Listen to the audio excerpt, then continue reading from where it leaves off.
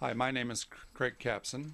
Uh, about approximately six months ago, I was uh, diagnosed with terminal cancer and sent home to die.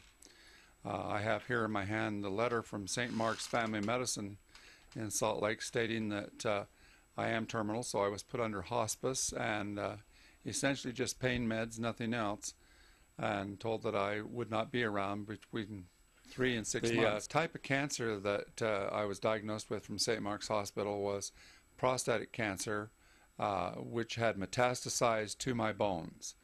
Uh, by the way, I did lose nearly 76 pounds uh, in the time that I was in the uh, hospitals in the nursing home, and the diagnosis was never changed. they still said I was terminal, so I was sent home to be under hospice.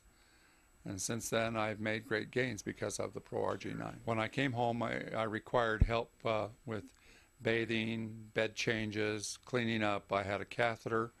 I have a wheelchair still sitting in the back bedroom and two walkers. Uh, I could not uh, walk with any amount of strength from one end of my home to the other end of the home.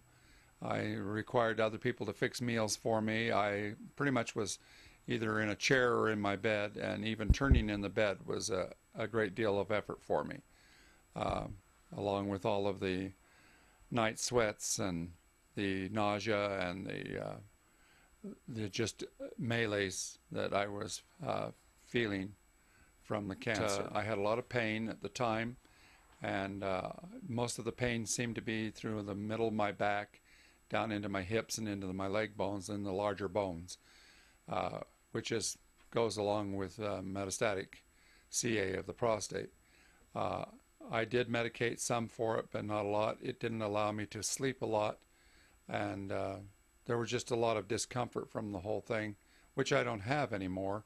And in fact, it started going away after uh, uh, my friend introduced me to ProArgi-9, and I was uh, started taking the ProArgi-9, and within two months I was uh, pretty much pain free, and today, uh, in the last uh, week and a half or so now, I have been without my catheter, which is another significant thing.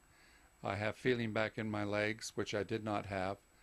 Uh, when I came home, I had numbness and coldness, and uh, it, I, I really felt that I was going to die. So I gave away everything in my home to my daughters and to friends and uh, got prepared to die. I got everything in order.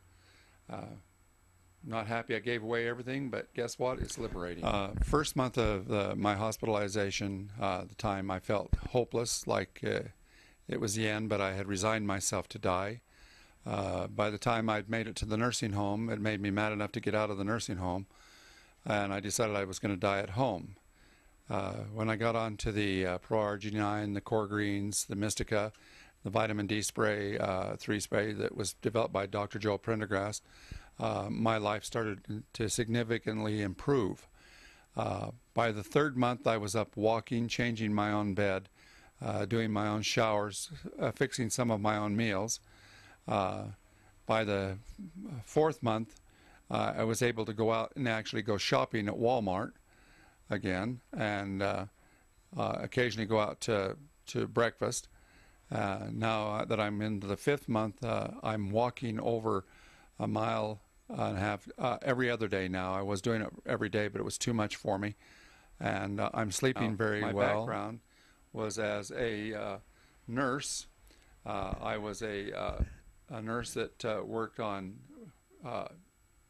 advocacy programs for the terminally ill. So I never thought I would be terminally ill, but uh, it, things do happen and come around.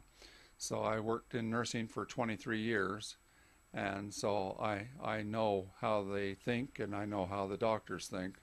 So, but I think this is an answer for people if they are looking for a solution.